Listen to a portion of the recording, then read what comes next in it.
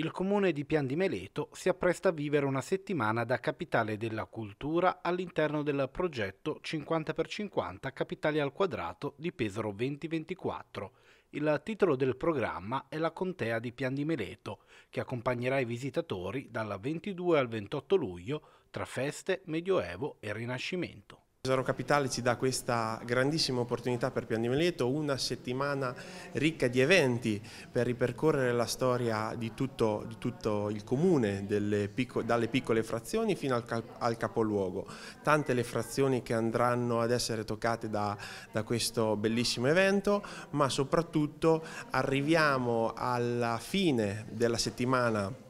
con il grandissimo evento che è il Paglio dei Conti Oliva,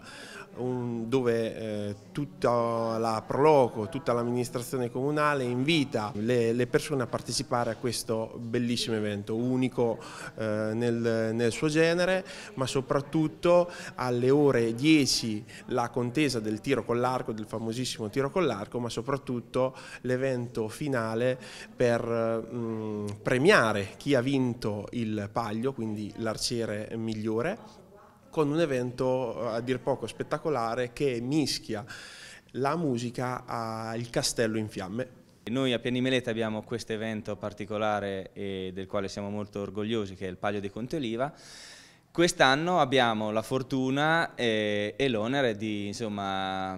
organizzare un evento ancora più spettacolare perché saremo ospiti di Pesaro Capitale e siamo molto contenti comunque di avere questo impegno. La pressione si sente però siamo molto contenti di poter far conoscere ancora più persone eh, quella che è la nostra manifestazione della quale andiamo più orgogliosi, eh, anche perché siamo un piccolo borgo e magari non tutti conoscono queste eh, perle che la regione nasconde e siamo, speriamo che questo evento in collaborazione con Pesaro Capitale possa ecco, portare eh, la dovuta eh, lustro alla nostra festa e al nostro paese del quale andiamo orgogliosi. Un, un programma complesso, articolato che vede proprio nella nell'evento finale il clou del, della settimana, ma il Comune ha costruito perfettamente rispetto alle aspettative, rispetto alle